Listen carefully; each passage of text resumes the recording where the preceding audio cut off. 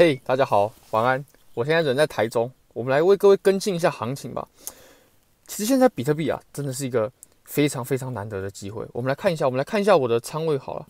那我现在呢，还是一样持有着在昨天、今天都给各位看到的这个仓位，是一百万美金的多单仓位嘛。那入场价呢是不太好，所以我这次的仓位就没有像以前下的那么大。那么这次的情况来看呢，以太坊跟比特币哪一个才值得做？一定是比特币。所以我做多多单的这一次啊，是只有做比特币的。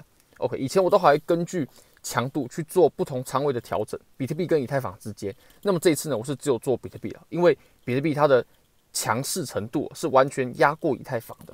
如果说大家有看一下汇率的话，就可以略知一一二了。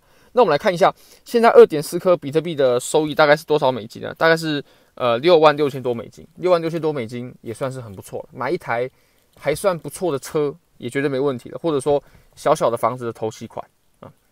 那如果说你是想交易的话呢，可以欢迎点击下方的 Bybit 链接。我个人都是用 Bybit 在做交易的，因为它真的是呃最符合交易者的一间交易所。那我们来看一下比特币的日线图吧。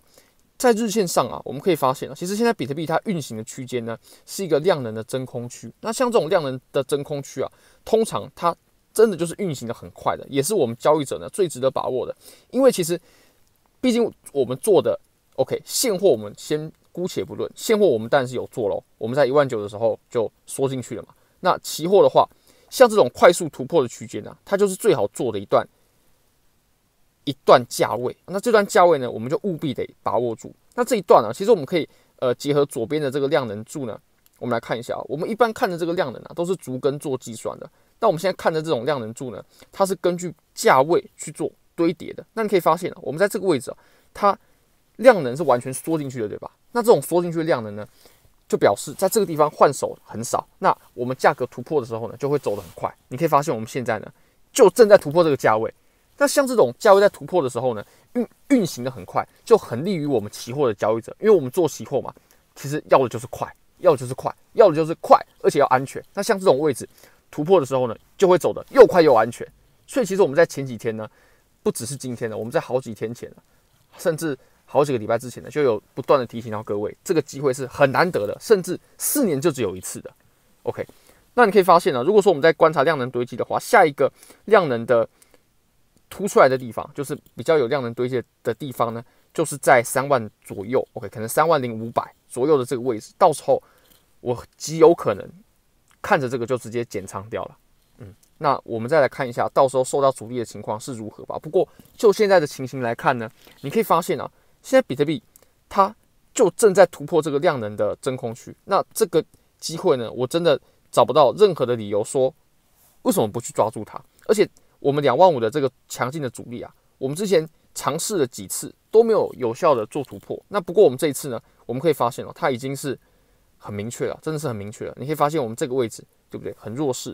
但是我们到这个位置的时候，OK，即将突破了。但是进行了一个比较强烈的回调，因为追多的人多了，市场想洗盘了。那你可以发现我们现在呢，非常的果断，非常的简洁有力，就直接突破了，很干脆，完全都不拖泥带水，直接一根阳线，一根大阳线。